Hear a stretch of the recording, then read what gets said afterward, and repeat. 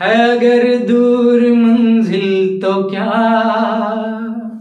रास्ता भी है मुश्किल तो क्या?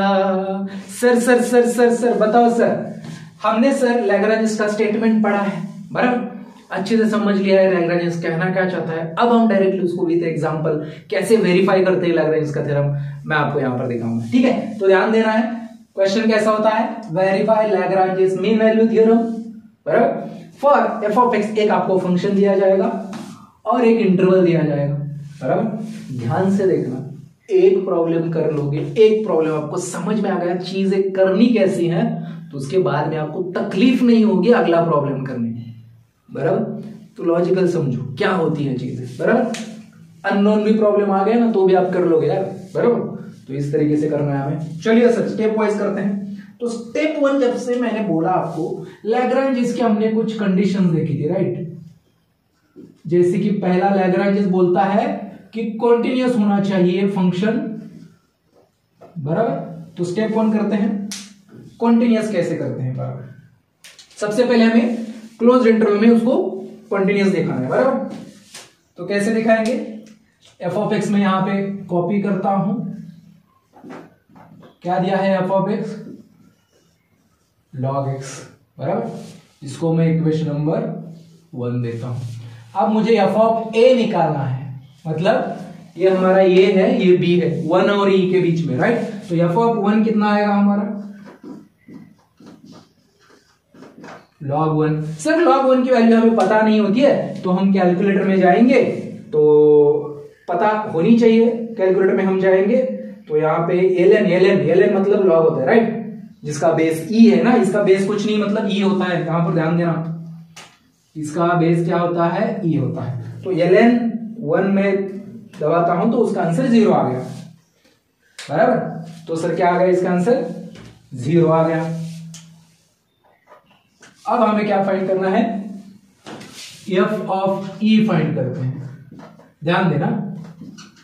तो लॉग ई कुछ बेस नहीं, कुछ नहीं मतलब ई होता है बाय डिफ़ॉल्ट बेस ओके तो लॉग ई बेस अगर सेम है तो ये हमने पढ़ा है सर इसका आंसर वन आता है राइट तो लॉग ई वन होता है। अब यहाँ पर एक चीज़ आपको पता चली, क्या पता चली? अगर एंड पॉइंट्स पे फ़ंक्शन की कुछ ना कुछ वैल्यू आ रही है मतलब डिफाइंड है फ़ंक्शन इसका मतलब function is continuous between this this interval बराबर? हम बोल सकते हैं एंड पॉइंट्स अगर डिफाइन हो रहे हैं, कुछ ना कुछ वैल्यू मिल रही है तो उसके बीच में भी वैल्यू मिलेगी। हम ऐसा मान सकते हैं, बराबर? तो डायरेक्टली मैं यहाँ पर लिख सकता हूँ, क्या लिख सकता हूँ? That implies therefore therefore f of x is continuous in close interval one comma जो कि लैग्रांजेस की पहली कंडीशन थी, ये सेटिस्फाई होनी चाहिए। और एक कंडीशन थी, कौन सी थी? वो भी हम करते हैं। दूसरी कंडीशन क्या थी? स्टेप टू करते हैं। स्टेप टू लैग्रांजेस बोलता है एफ़ ऑफ़ एक्स डिफरेंशिएबल होना चाहिए in open interval a b अच्छा तो हम देखते हैं यहाँ पर। डिफरेंशिएबल मतलब इसका डेरिवेटिव लेते हैं। एफ़ ऑफ़ एक्स का डेरिवेटिव मतलब एफ़ डैश एक्स होता है। लॉग एक्स का डेरिवेटिव का डायरेक्ट फॉर्मूला है सर वन अपॉन एक्स वो हमने याद रखा है। जिसको पता नहीं, याद रख लो। क्या फॉर्मूला है? क्या फॉर्मूला है? D by d x of log x is equal to one upon x होता है। मतलब लॉग एक्स का डेरिवेटिव वन अपॉन एक्स होता है। तो एफ़ ऑफ़ एक्स का f dash x log x का कितना मैं डायरेक्टली यहाँ पर लिख रहा हूँ। इसको मैं दो नंबर भी दे सकता हूँ। ठीक है? अब यहाँ पे हम वैल्यूज़ रखेंगे। क्या वैल्यूज़ रखेंगे? एफ़ ऑफ़ एक्स की जगह पे पहले वन रखेंगे, फिर ही रखेंगे। तो f dash of one is equal to one upon one x की जगह पे वन रख दिया। वन अपॉन वन तो वन ही होता है सर अब ई e भी रखते हैं। F dash of e is equal to one upon e one upon e की वैल्यू हमें पता नहीं है सर तो वो क्या आता है, हम देखते हैं यहाँ पर। कैलकुलेटर में जाएँगे। वन अपॉन ई यहाँ पर मुझे मिल रहा है अल्फ़ा दबा के नीचे ई e है। तो ये 0.36 समथिंग आता है। ई एक कांस्टेंट होता है ई e की वैल्यू कांस्टेंट होती है, क्या होती है मैं बता दूँ आपको। यहाँ पर मैं ई e की वैल्यू में अगर आपको बता दूँ तो 2.71828 ऐसी कुछ तो वैल्यू होती है, ठीक है? तो ई की वैल्यू मैं यहाँ पर आपको लोगों को बता देता हूँ। Is equal to two point seven one eight dash dash dash आगे भी है, लेकिन इतना काफ़ी हमारी। तो अगर ये भी एक रियल नंबर है वन भी रियल नंबर है रियल अपॉन रियल कुछ तो रियल वैल्यू मिलेगी राइट बराबर? तो जो कि मैंने बता दिया आपको, क्या आंसर आता था उसका? वो zero point three six something आता था राइट बराबर? तो ये भी रियल है, ये रियल वैल्यू रियल वैल्यू है मतलब डिफाइंड है फ़ंक्शन इनफाइनाइट नहीं आया मतलब डिफाइन है।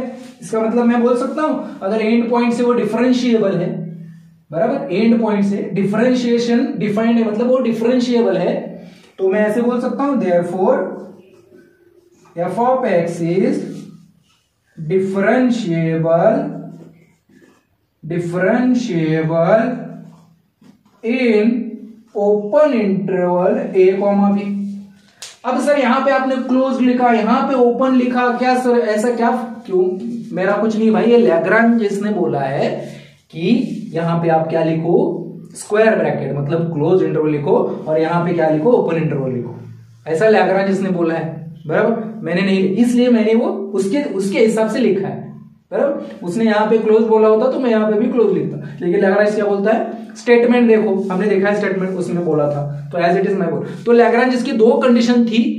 वो सेटिस्फाई हो गई मतलब इस फ़ंक्शन को मैं लैग्रांज का स्टेटमेंट लैग्रांज का theorem LMVT Lagrange mean value theorem apply कर सकता हूँ। और मैं इसको वेरीफाई कर सकता हूँ। वेरीफाई कैसे करना है देखते हैं। ठीक है? तो यहाँ पर हम स्टेप थ्री शुरू करेंगे। Step three. लैग्रांजेस बोलता है, अगर ये दो कंडीशन आपका फ़ंक्शन अगर ये दो कंडीशन सेटिस्फाई करता है तो मैं आपको एक स्टेटमेंट देता हूँ, वो होना चाहिए वहाँ पर सेटिस्फाई होना चाहिए। क्या बोलता है वो? Then then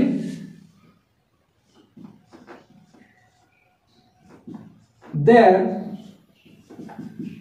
exist at least one point let's say x equal to c. X equal to c. Where where f dash of sorry f of b minus f of a upon upon b minus a is equal to f dash of c. ये होना चाहिए। हमें क्या लिखना है? लेकिन Lagrange क्या बोलता है यहाँ पर? In open interval a b लेकिन हम डायरेक्टली नहीं लिखेंगे कि ये जो सी है ओपन इंटरवल ए बी में है, क्योंकि हमें अभी तक पता नहीं है। हम क्या करने वाले हैं? हमें इतना पता चला है कि ये सी है जहाँ पर ये कंडीशन सेटिस्फाई होने वाला है। हम वो सी की वैल्यू फाइंड करेंगे। और वो सी अगर ओपन इंटरवल ए बी में आता है, ए और बी के बीच में आता है तो हम कह देंगे कि लैग्रांज थ्योरम वेरीफाई हो गया। क्लियर? पहले ये नहीं बोलना है कि सी बीच में आ गया। सी बीच में है, अभी पता है कि हमको नहीं है, बराबर? सी की वैल्यू जब मिलेगी, तब पता चलेगा वो वन और ई के बीच में है या नहीं, बराबर? अगर वो बीच में है तो लैग्रांज थ्योरम वेरीफाई हो गया ना, बराबर? तो सबसे पहले सी निकालेंगे।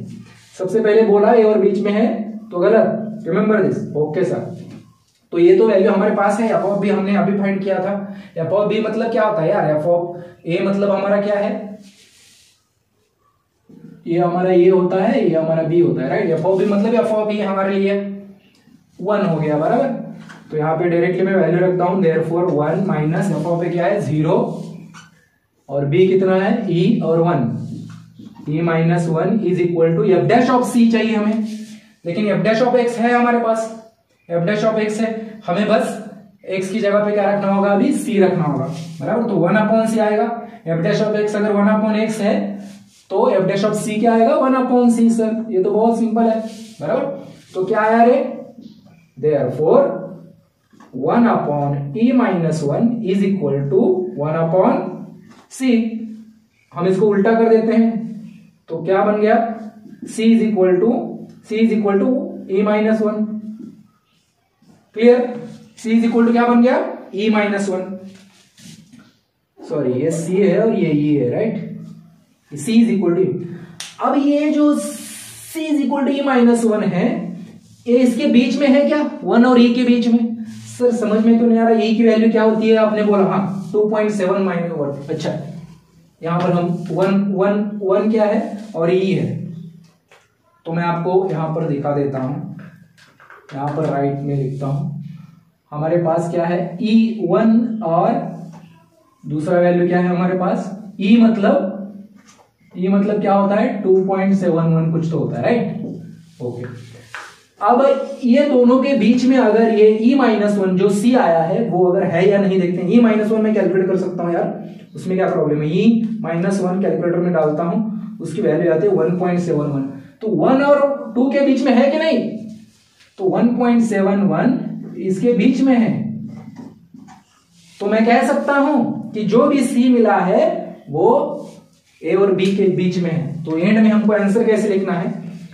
Therefore therefore x equal to c x equal to c which is equal to e minus one lies lies in lies in ये लाइज मतलब क्या है? ये मैं यहाँ पर लिखता हूँ, ठीक है? यहाँ पर लिखता हूँ। Therefore last last point क्या लिखना है देखो? एक्स इक्वल टू सी जो कि सी की वैल्यू क्या आई है? E minus one lies in open interval a को हमारे यहाँ पे ओपन ही लिखना है। क्यों सर क्योंकि लैग्रांजेस ने स्टेटमेंट में बोला है कि एंड में ओपन लिखना है open interval therefore therefore Lagrange's mean value theorem is verified आप पूरा का पूरा स्टेटमेंट लिख सकते Lagrange's मीन वैल्यू थियरम मैं शॉर्ट में लिखता हूँ थियरम इज़ वेरीफाइड बराबर? तो आई होप आपको फ्लो समझ में आ गया है। फिर से क्विकली बता देता हूँ, क्या करना क्या है। जो भी आपको फ़ंक्शन दिया हो, उसको पहले, अगर आपको पॉलिनोमियल दिया होता है यहाँ पर मतलब पॉलिनोमियल मतलब क्या होता है, सिर्फ़ बताओ जरा। पॉलिनोमियल मतलब two x cube minus x square plus three x मतलब combination of x and constants और एक्स की कुछ तो पावर है, घटती जाती है, बराबर, आपने तो देखा होगा। कोई भी क्वाड्रेटिक इक्वेशन हो गया x square minus two x plus one ऐसा कुछ भी। उसको पॉलिनोमियल बोलती है राइट अगर यहाँ पे पॉलिनोमियल होता तो आप डायरेक्टली भी लिख सकते हो कि because of this is the polynomial in x तो पॉलिनोमियल हर एक पॉलिनोमियल कॉन्टिन्यूस और डिफरेंशियबल होती है, आप डायरेक्टली लिख सकते हो। या फिर वहाँ पर भी ये तरीका आप अप्लाई कर सकते हो, क्या करो एंड पॉइंट्स रख दो। अगर डिफाइंड वैल्यू आती है तो कॉन्टिन्यूस है। फिर डेरिवेटिव निकालो, वहाँ पे भी रख दो एंड पॉइंट्स वहाँ पे भी कुछ ना कुछ वैल्यू मिलती है तो डिफरेंशिएबल है। बात खत्म, दो कंडीशन सेटिस्फाई हो गए। तो यहाँ पर ये लैग्रांजेस क्या बोलता है कि x इक्वल टू सी ऐसा कुछ तो है जहाँ पर ये सेटिस्फाई होना चाहिए। तो यहाँ पे वैल्यू रख दो सी क्या आता है बोलो? और जो सी है, अगर इसके बीच में आता है तो मतलब ओपन इंटरवल में आता है। अगर यहाँ पर हम ए भी नहीं लिखेंगे, यहाँ पर क्या लिखेंगे? हमारा ए और बी क्या है? वन कॉमा ये राइट तो वन और ये ओपन इंटरवल के बीच में है तो वेरीफाइड हो गया, ऐसा आप डायरेक्टली बोल सकते आई होप आपको समझ में आ गया। बराबर? इसके ऊपर और भी प्रॉब्लम्स लेंगे। ठीक है? तो करते हैं फिर अगला प्रॉब्लम